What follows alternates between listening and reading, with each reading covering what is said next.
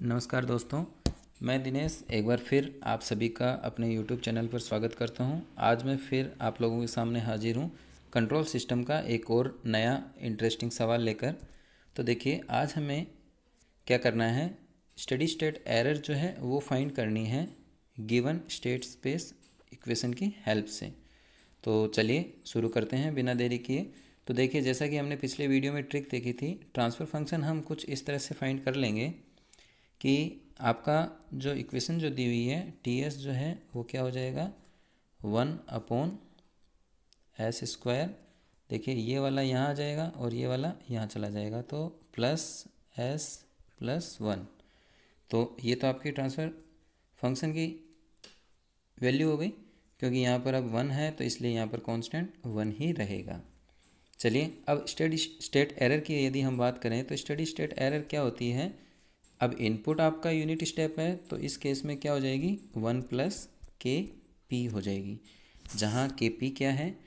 तो देखिए, के पी जो है, वो आपकी limit s tends to zero G s होती है। अब देखिए, के पी यदि आपने निकाल लिया तो steady state error easily calculate हो जाएगी। तो जी एस निकालने के लिए ये, क्योंकि ये आपका जो फ़ंक्शन है, ये क्या है?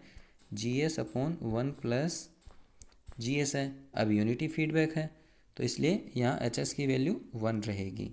तो देखिए, अब हम इसमें यदि जी एस निकालें तो जी एस निकालेंगे तो क्या करेंगे? यदि आप numerator divide by denominator minus numerator करते हैं तो ये किसके इक्वल होगा? जी एस के बराबर होगा ना?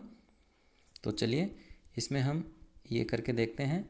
तो इससे आपके पास जो वैल्यू आएगी, वो क्या रहेगी? जी एस की, वो हो जाएगी one upon one s s plus one ये जो है आपके पास जी एस आ गया। अब यदि आप लिमिट एस की लिमिट इसमें पुट करते हैं तो के पी आपके पास क्या आ जाएगा?